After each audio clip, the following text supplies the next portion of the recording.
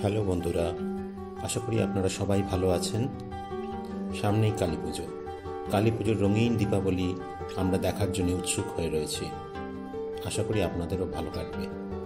আজ আমি আমার নতুন ভিডিওতে কালী পুজো সম্বন্ধেই কিছু আপনাদের সামনে তথ্য উপস্থাপিত করব।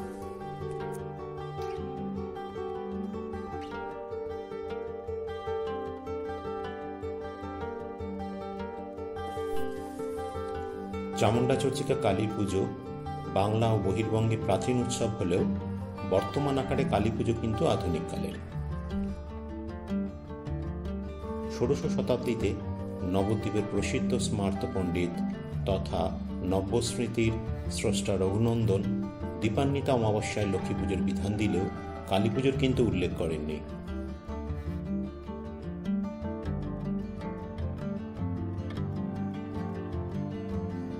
সতেরোশো আটষট্টি সালে কাশীনাথের কালী স্বপর্যাস বিধির গ্রন্থে দীপান্বিতা অমাবস্যায় কালী পুজোর বিধান পাওয়া যায়।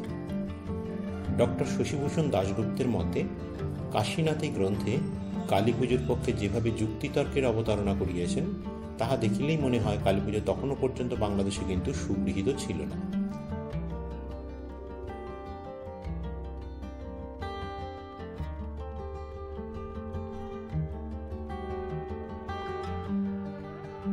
তবে খ্রিস্টীয় সপ্তদশ শতাব্দীতে বাংলার কালী পুজোর প্রচলনের কিছু কিছু প্রমাণ পাওয়া গেছে।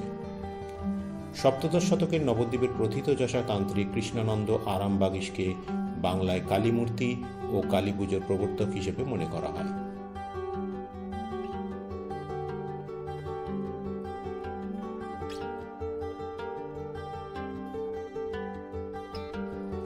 তার পূর্বে কালী উপাসকগণ তাম্রটাটি ইষ্টদেবীর যন্ত্র এঁকে বা খোদাই করে পুজো করতেন।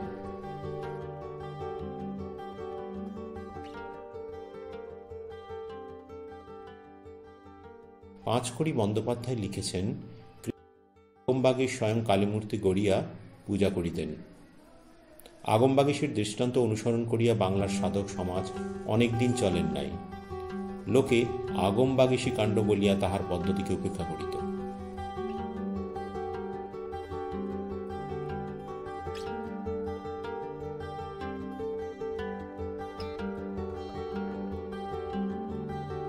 নদিয়ার রাজা কৃষ্ণচন্দ্র রায় কালী পুজোকে জনপ্রিয় করে তোলেন এবং এই সময় রামপ্রসাদ সেনও আগমবাগীশের পদ্ধতি অনুসারে কালী পুজো শুরু করতেন।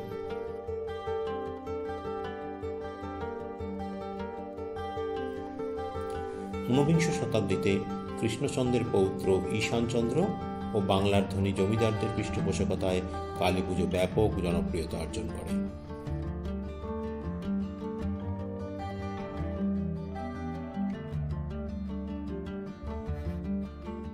বর্তমানে কালী পুজো বাংলায় দুর্গাপুজোর মতোই এক বিরাট উৎসব।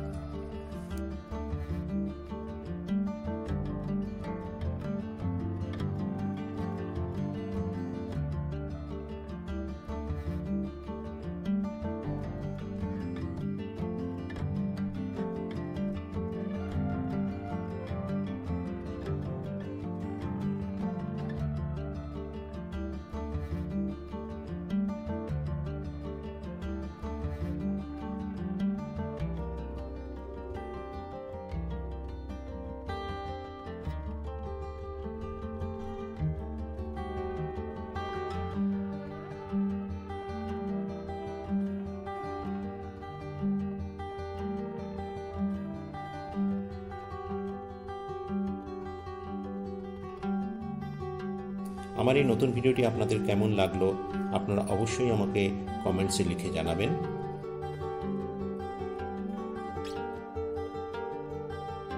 যারা যেন আমার চ্যানেলটিকে সাবস্ক্রাইব করেননি, তারা নোটিফিকেশন বেলটি অন করে দেবেন এবং অবশ্যই সাবস্ক্রাইব করে দেবেন।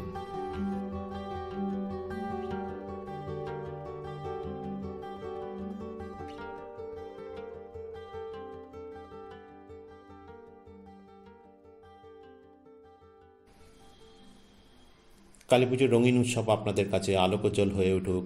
এই আশা কামনা করে আজকের ভিডিওটি আমি শেষ করছি। সবার ভালো কাটুক। দীপাবলি সবার উজ্জ্বল হয়ে উঠুক। সবার মনে পড়ে উঠুক নতুন আলোক উজ্জ্বলে সবাই ভালো থাকবেন। অনেক অনেক ধন্যবাদ আপনাদের।